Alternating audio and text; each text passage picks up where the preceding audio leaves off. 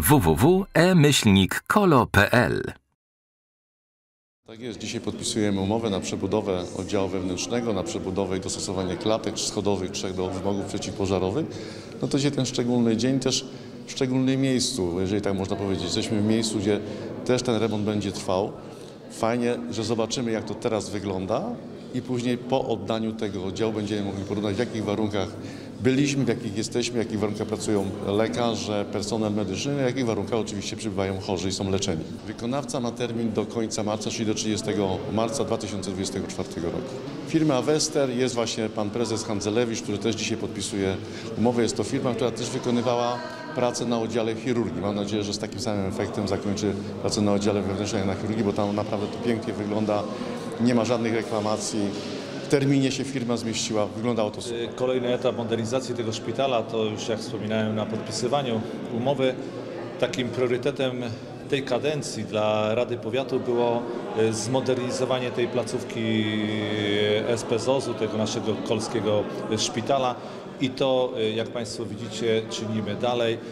Mam nadzieję, że z równie dużym sukcesem, jak udało się to zrealizować chociażby z oddziałem chirurgii, ale przecież zrobiliśmy już oddział ginekologiczno-położniczy, przebudowaliśmy wjazd do izby e, przyjęć, e, ale też przecież doposażyliśmy szpital e, w najnowocześniejszy sprzęt medyczny, by poprawić jakość świadczonych usług medycznych. To są endoskopy, laparoskopy, cała pracownia endoskopowa. Y, Tych elementów, które już do tej pory zmodernizowali, zmodernizowaliśmy jest wiele i za wiele, wiele milionów, ale rzeczywiście sercem tego szpitala y, i to, co nas najbardziej y, motywowało, to był oczywiście oddział wewnętrzny.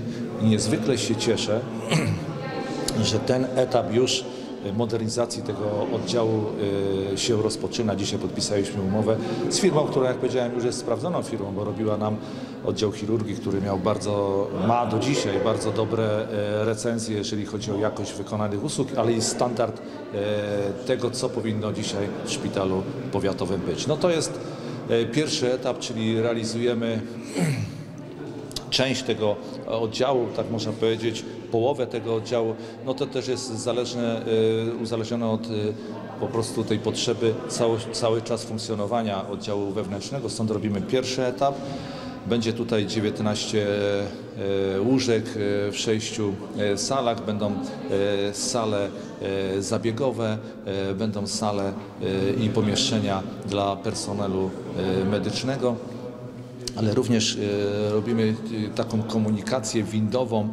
E, Akurat w tym pomieszczeniu, gdzie podpisywaliśmy umowę, ten oddział będzie skomunikowany nowym ciągiem windowym i też w ramach tego projektu realizujemy taką przebudowę, która ma pozwolić na spełnienie wszystkich standardów ochrony przeciwpożarowej na wszystkich trzech klatkach, które komunikują właśnie oddział wewnętrzny. Zresztą to jest wymóg, który musimy nawet i, i zrealizować podczas tej inwestycji. Całość inwestycji na tą chwilę jest przewidywana e, w granicach 5,5 miliona złotych. Mamy e, dofinansowanie z, e, do tej inwestycji z Polskiego Ładu. To nam właśnie pozwala na no właśnie realizację tego całego projektu oddziału wewnętrznego.